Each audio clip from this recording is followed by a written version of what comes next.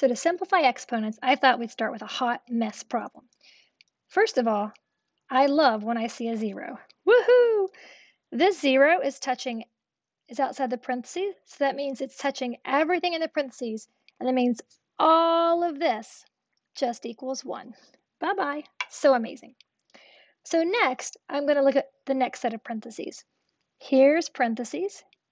And remember, we always do parentheses or groups first. So if I can simplify anything inside here, I need to do that first, just to make my problem easier. So let's go ahead and do that. Let's look inside. 2, oh, he's by himself. He's fine. Oh, look, there are two x's, x negative 2 and x4. We are multiplying, so we add the exponents, which gives us 4 minus 2, or x2, and then a single y, and that is all raised to the negative 3. This guy is a 1, so he is gone. And I've got negative 5, x negative 2, y 6. The next thing I want to do is the exponent, which is the negative 3.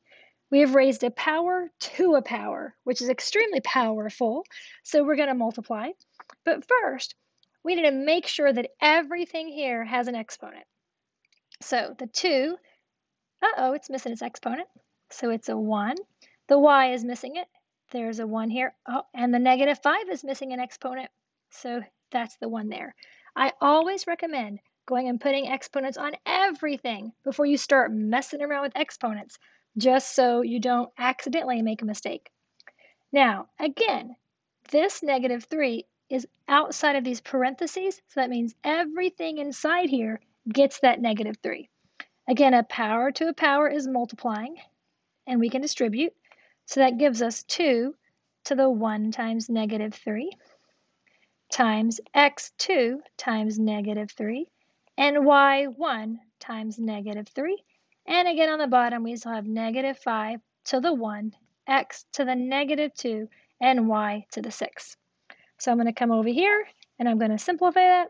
We have 2 to the negative 3 times x to the negative 6 times y to the negative 3. Whew, so many negatives. And on the bottom, we have negative 5 to the positive 1 x negative 2, y 6. Okay, what I want to do now is I want to move any exponents that are negative. So a negative exponent just means that instead of multiplying, you're dividing repeatedly. So we're going to move things to make it positive. So right now, this 2, negative 3, we can move this down. We do not need to move this because it has a positive exponent.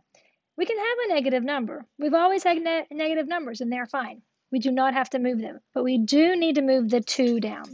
So we're going to move the 2 down, and that makes it 2 to the positive 3. We're going to leave the negative 5 down here. And then we're going to move some more things.